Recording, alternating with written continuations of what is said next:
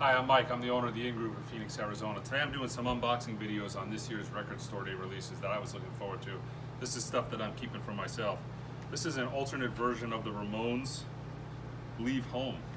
Essentially a bunch of alternate mixes, rough mixes. And they did 10,000 of these and they're all numbered. This is number 2395 out of 10,000. This is also one of the uh, record store day releases that has the fortune inside.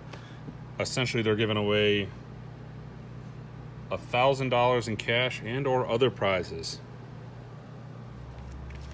Let's crack it open.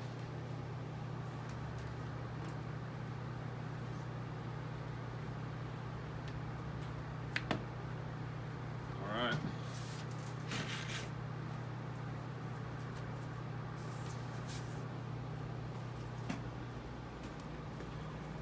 That is side A.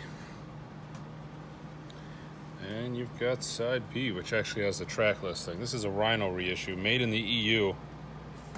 Most of the Rhino stuff that uh, comes out is actually pretty high quality. Pretty basic cover. It's essentially a DJ sleeve. That is the $1,000 card with the code on the back. Cha-ching. And this is the sleeve on the inside. That's it. There's no book, no liner notes. And that's it. Until next time.